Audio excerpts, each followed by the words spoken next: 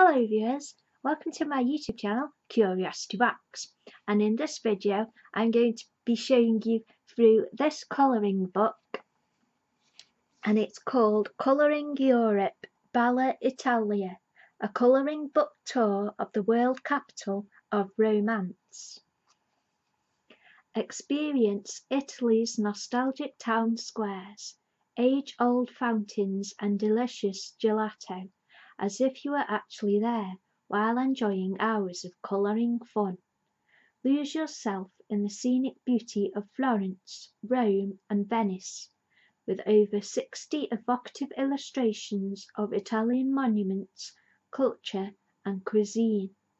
This colouring book travelogue takes you on an artistic vacation to what is perhaps the most romantic destination in the world offering hours of relaxation and travel inspiration.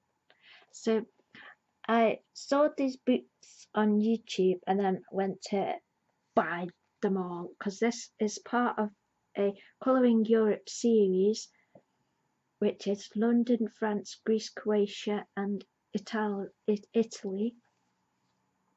And what I really like about these books is um, the images are single-sided and on one side it, it tells you a little facts about the image and how it relates to the country. So let's head straight to the flip through and learn more about Italy. This is the cover for Bella Italia. And this is the back published by Waves of Colour and it's that thick and the pages are nice heavyweight pages and they're printed single sided so you can use your markers or paints. The illustrations are by Lee Il Sun. Favourite Cafe Find your favourite cafe and relax in it. Let it fill your soul. Packing for the trip. Planning and anticipation are an important part of the experience. Don't forget to prepare for the unexpected. Ponte Vecchio, Florence. A famous painting of this bridge depicts a meeting between Dante Alighieri and Beatrice Portinari. Central Market, Florence. Acclimate yourself to the city's bustle at the Central Market. Dessert, gelato. This Italian ice cream's name comes from the Latin for frozen this is a rich, colourful treat. Restaurant, Florence. Here, olives and olive oil are more flavourful than any you've ever tasted. 500 year old window. You can tell its age by the shape of the arch. A fruit and wine basket. The bounty of the Mediterranean made into a beautiful gift basket. The Medici family crest, Florence. Patrons of the Renaissance, this family fostered a grand era of art and humanism. Desserts from a cafe. Whether it's a simple biscotti or one of these elaborate pastries, indulge yourself in an Italian treat. Piazza Michelangelo, Florence. Take a break in this small plaza as you watch the sunset paint the town. Flowers and Florence. Florence is the flower of a city. We experience it with all of our senses. Margherita Pizza. Red tomatoes, white mozzarella and green basil for the Italian flag. It's named after nineteenth century queen consort Margherita. Pinocchio. The classic tale of a puppet who longed to be a real boy was written by Carlo Collodi, a native of Florence. Dessert, cannoli and cappuccino. Cappuccino takes its name from the Capuchin friars as it is the same color as their robes. Cathedral di Santa Maria del Fiore, Florence. Nicknamed Il Duomo, it dominates the Florence skyline and visitors' hearts. Gondola, Venice. Historically, the principal mode of transport, the gondola remains the best way to see the city. Food, spaghetti. This versatile pasta can be simple comfort food or an unforgettable meal. Masks, Venice. Carnival in Venice is famous for its beautiful elaborate masks. A city on water, Venice, made up of one hundred and eighteen islands connected by more than four hundred bridges. This is a city where people walk on water. Piazza San Marco, Venice. This historic meeting place is referred to simply as the Piazza. It is a central part of Venetian life. A dessert cafe. A place to live in the moment and feed the whims of our hearts and taste buds. A selection of pasta shapes. The near infinite variety of shapes and sizes of pasta is a feast for the senses. Venice Biennial Exhibition Hall, Venice. This international art festival is held in odd numbered years. It has inspired many biennial festivals worldwide. The foundation myth of Rome, Romulus and Remus. Raised by a wolf after they were abandoned on the banks of the Tiber, Romulus and Remus are the mythical founders of Rome. Fashion, Milan.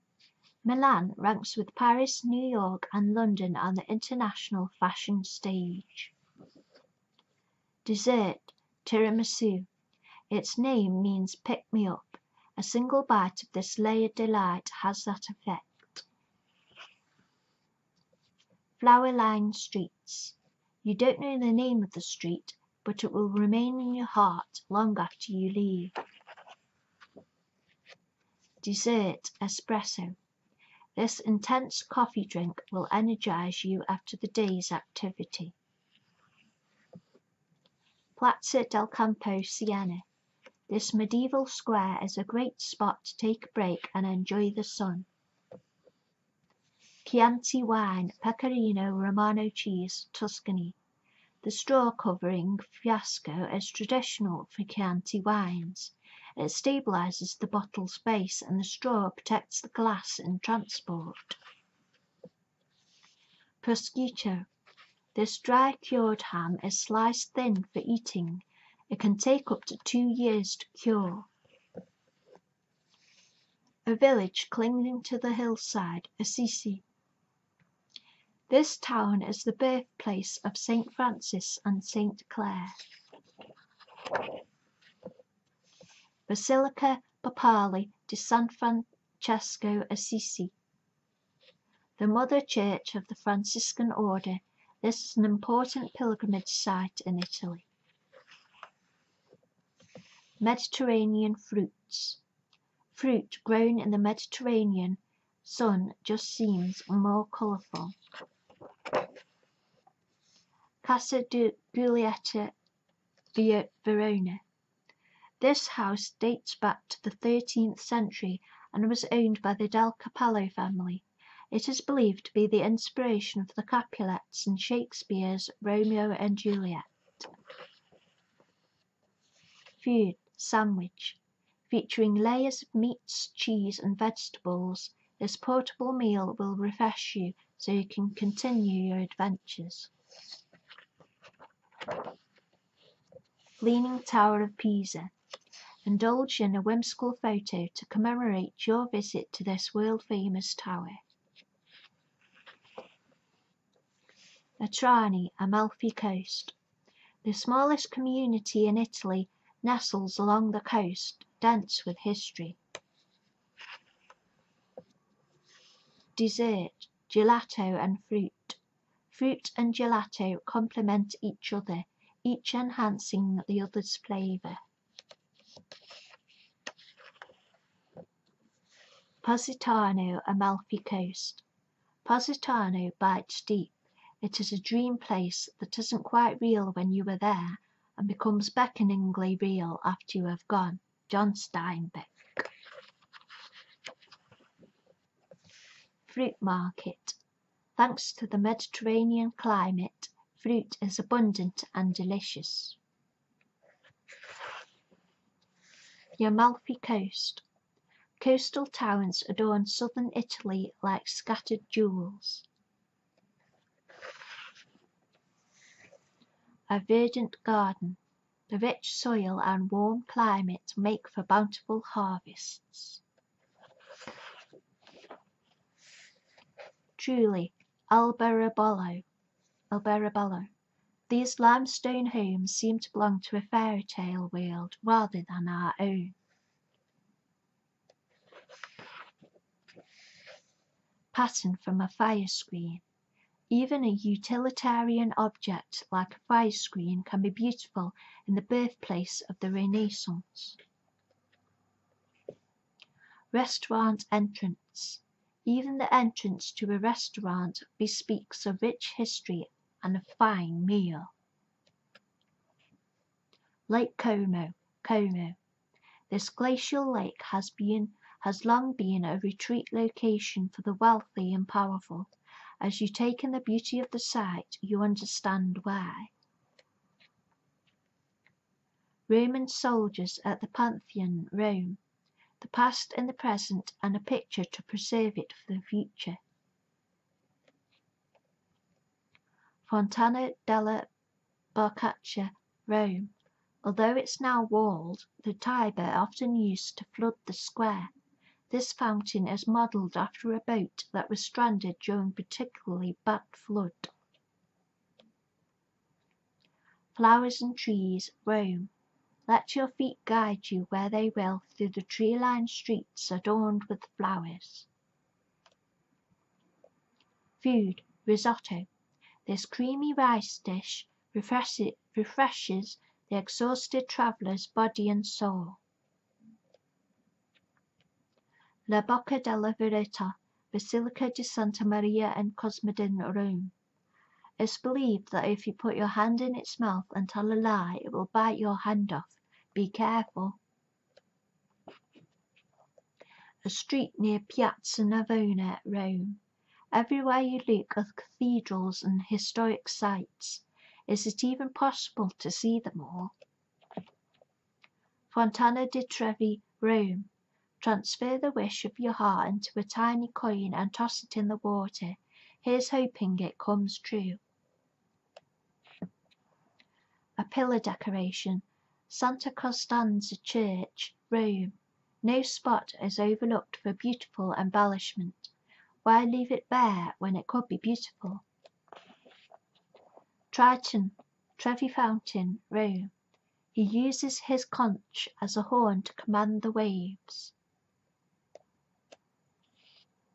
The environs of the Trevi Fountain, Rome.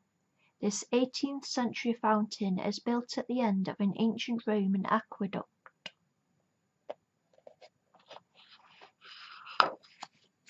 Alfresco dining.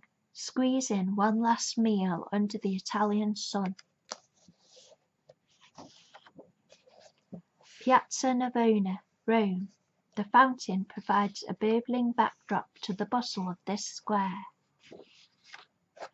Basilica Papale di San Pietro, Vatican City. Because of its size, most papal liturgies and ceremonies take place here in St. Peter's Basilica. Colosseum, Rome. The largest amphitheatre ever built, it remains impressive even as it shows the passage of time. Artists at the Piazza Navona at Rome. Art is not a handicraft, It is the transmission of feeling the artist has experienced. Leo Tolstoy. That's the end of the book. See, there's the information about the book. I hope you have enjoyed this video and thank you for watching. Yay!